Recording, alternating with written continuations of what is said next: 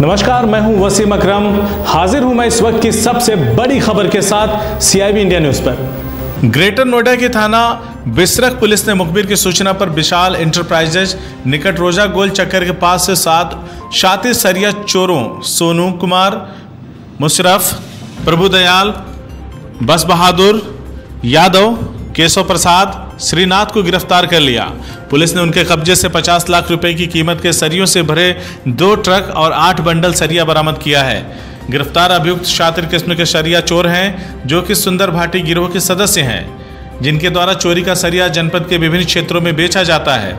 आरोपियों द्वारा सरिया से भरे ट्रालों के चालकों को डरा धमकाकर असलहों के बल पर सरिये का कुछ हिस्सा उतरवा लेते थे और बाद में अपने वाहनों से गोदामों में रखकर फर्जी बिल व फर्जी नंबर तैयार कर बिल्डरों और सरिया मटेरियल सप्लायरों को बेचते थे। गौरतलब है कि नोएडा और गाजियाबाद में सरिया लूटने वाले कई ऐसे गिरोह सक्रिय हैं, जिनके द्वारा ट्रकों से जबरन सरिया उतरवा कर या लूट कर अपना अरबों रुपए का साम्राज्य फैला रखा है। गिरफ़्तार अभियुक्तों को न्यायिक हिरासत में भेजा गया है। बिस्रा कोतवाली पुलिस ने बहुत ही सराहनीय काम किया है जिसमें एक बड़ा गैंग पकड़ा गया है।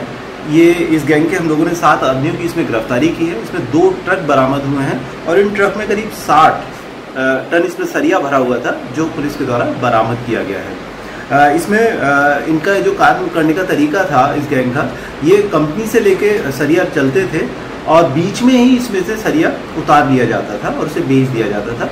और अभी इसमें हम लोगों जिन लोगों, सात लोगों की गिरफ्तारी की है, उनसे पूछताछ में पता चला है कि इस, इन लोगों का जो संबंध है, एक बड़े गैंग से भी है। हम इस चीज़ को भी एक्सप्लोर कर रहे हैं।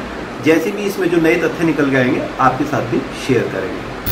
अगर आपको हमारी खबर अच्छी लगी तो खबर को लाइक करें शेयर करें और चैनल को सब्सक्राइब ज़रूर करें। साथ ही स्क्रीन पर दिख रही घंटी को दबाएँ ताकि आप तक हमारी सभी खबरों के नोटिफिकेशन पहुँचते रहें।